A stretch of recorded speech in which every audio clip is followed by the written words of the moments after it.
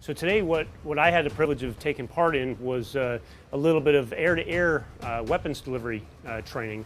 Uh, not something that we do every single day, but it certainly was an opportunity that we had to uh, deliver a weapon system. HMLA might not normally be tasked to do that in a fifth generation fight out here uh, inside of 3MEF.